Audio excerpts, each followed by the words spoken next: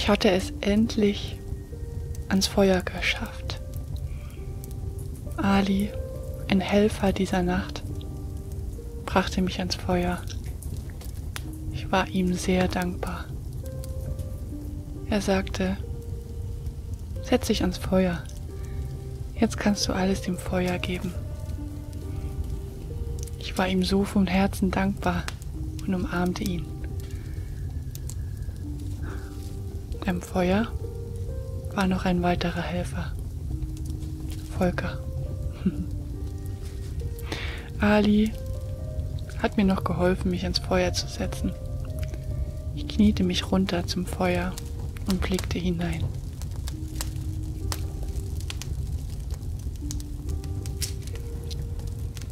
Es war ein wundervoller Moment der Entspannung und Dankbarkeit.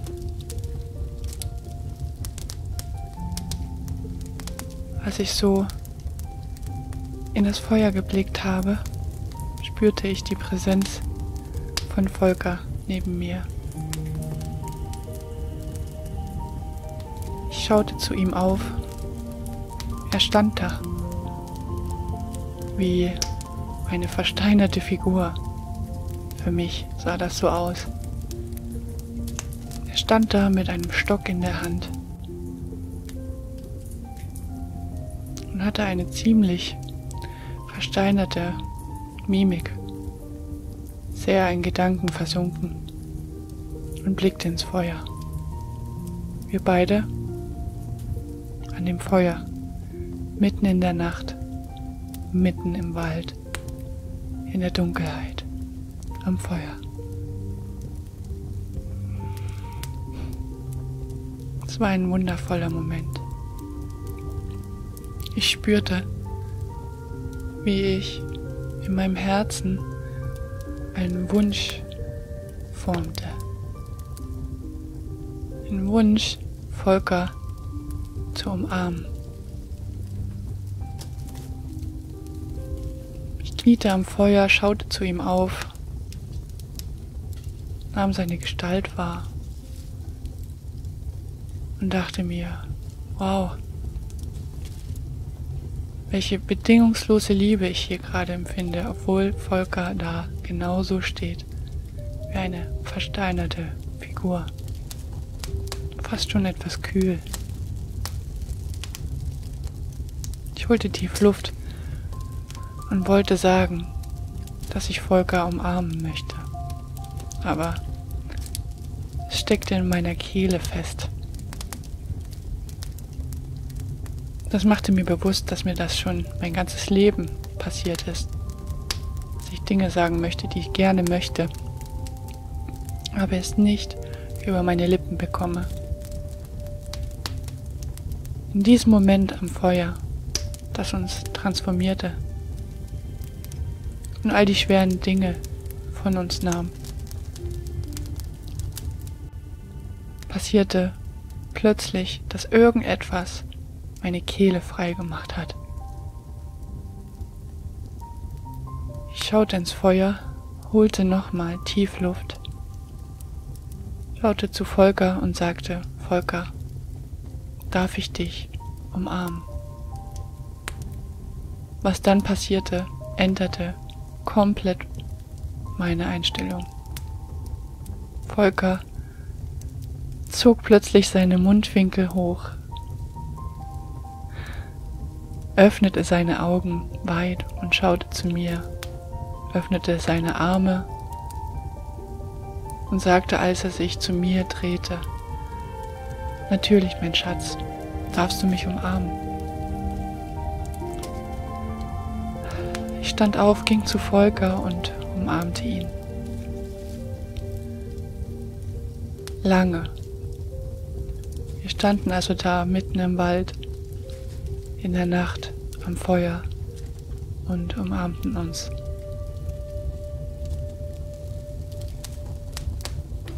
Tiefe Atemzüge lösten während der Umarmung alle Blockaden. Irgendwann ließen wir uns wieder los und ich kniete mich wieder ans Feuer und Volker stellte sich wieder ans Feuer mit seinem großen Stock und schaute hinein wie der Wächter des Feuers. Diese Erfahrung hat alles für mich verändert. Ich habe erfahren, dass wenn ich etwas im Herzen habe, dann darf ich es ausdrücken, denn alles ist richtig. Und wenn ich mein Herz öffne, öffne ich das Herz anderer. Das hat mich zutiefst erfüllt in dieser Nacht.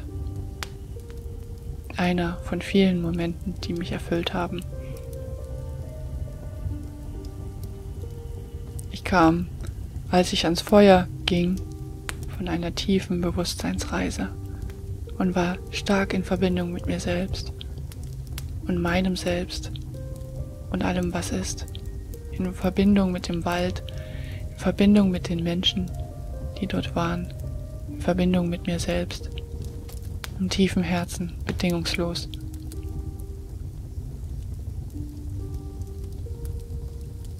Und als ich da wieder so am Feuer kniete und Volker da stand, wieder wie der Wächter des Feuers, hörte ich plötzlich eine Stimme, eine innere Stimme, die sagte, Sing! Und ich fange an, mit dieser Stimme zu diskutieren und sagte, was soll ich denn singen? Ich kenne doch den Text nicht. Und wieder wurde meine Kehle frei gemacht. Ich richtete mich auf und sang. Einfach los. Einfach weil ich meine Gedanken losgelassen hatte. Einfach weil ich verbunden war mit mir selbst. Dieses Lied klang durch den ganzen Wald, durch die ganze Nacht. Und was dann passierte, war wieder genau dasselbe. Volker öffnet seine Augen, schaut mich leuchtend an und schwingte mit seinem Körper mit und sang das Lied mit. Und als ich fertig war, sagte er zu mir, Franzi, geh rein, geh rein zu den Menschen und sing. Das ist jetzt deine Aufgabe. Du singst so wundervoll. Und jetzt leuchteten meine Augen und ich war erfüllt, dass ich überhaupt mich getraut hatte zu singen und meine Hemmungen überwunden habe. Ich ging rein zu den Menschen. Es war ein dunkler Raum.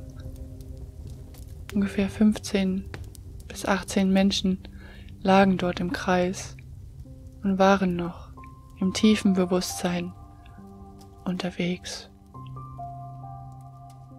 Dieser Raum war nur erleuchtet durch ein einziges Teelicht. Und am Rande saß die Schamanin, die Lieder gesungen hat und voll mit dem Spirit verbunden war. Ich setzte mich in die Mitte dieses Kreises, nahm mir eine Rasse hörte zu, was die Schamanin gesungen hat und sang laut mit und rasselte laut mit. Voll mit dem Herzen dabei für die anderen und für mich. Das erfüllte mich. Nach diesem Wochenende fuhr ich nach Hause und spielte und sang diese Lieder und packte meine Gitarre wieder aus. Schon mit 14 habe ich mir das Gitarrespielen selbst beigebracht, einfach weil ich das als junges Mädchen so sehr wollte und frei war. Mein Vater, der spielte auch Gitarre und spielt es heute noch. Und ich konnte ihn ab und zu fragen, wenn ich Fragen hatte. Aber ansonsten war mein Wille so groß, es einfach zu lernen weil es mir Freude bereitet hat. Auf meinem Lebensweg habe ich das vergessen. Und dort habe ich es wiederentdeckt. Nach drei Tagen Liederspielen und Singen kam mir der Gedanke, was Volker zu mir am Feuer gesagt hat. Geh rein, Sing für die Gruppe. Du singst wunderschön. Und das hat mich unter anderem dazu bewegt, der Schamanin eine Nachricht zu schreiben. Ich berichtete ihr, dass ich den Ruf spüre, sie zu unterstützen, musikalisch, mit meinem Herzen für die anderen da zu sein und zu singen und zu spielen. Ich musste da doch einige Zweifel überwinden und hab's trotzdem abgeschickt. Was dann passierte, hat mich in so tiefer Freude baden lassen, dass da schon wieder so ein Beweis war, dass wenn ich mein Herz öffne und sage, was ich wirklich tun möchte, dass ein wundervolles Echo zurückkommt.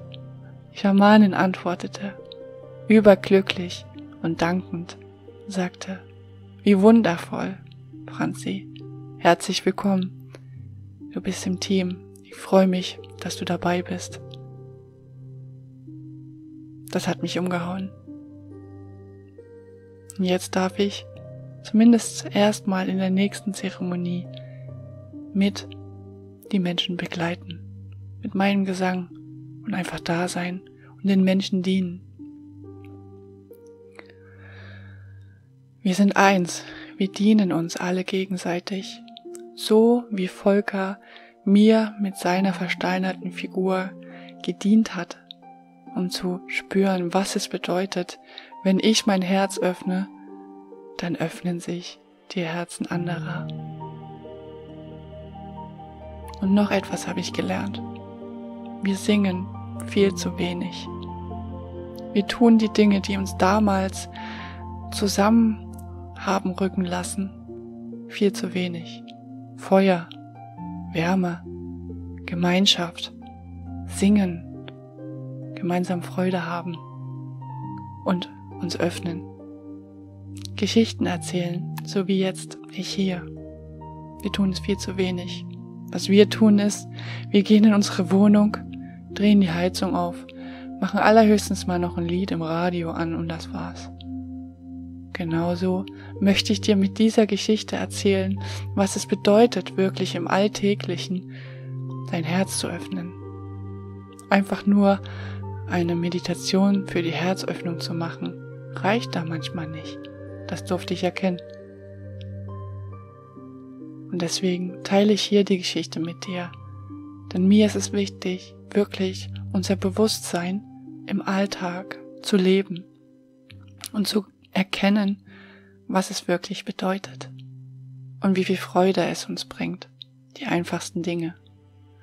Falls du das erste Mal heute hier zuhörst, dann heiße ich dich herzlich willkommen in deinem Bewusstsein Podcast. Dein Podcast für mehr Spirit und Klarheit. und wenn du mehr über meine Arbeit erfahren möchtest, dann guck einfach mal in die Show Notes. Da findest du den Link zu meiner Website. Ich danke dir von Herzen fürs Zuhören. Ich danke Volker, dass er mir gedient hat mein Herz öffnen zu können und es lernen zu dürfen. Und ich danke allen, die bei dieser Zeremonie dabei waren und mir so viel gezeigt haben. Wir sind eins. Ich wünsche dir von Herzen pure Entfaltung für dich. Deine Franziska.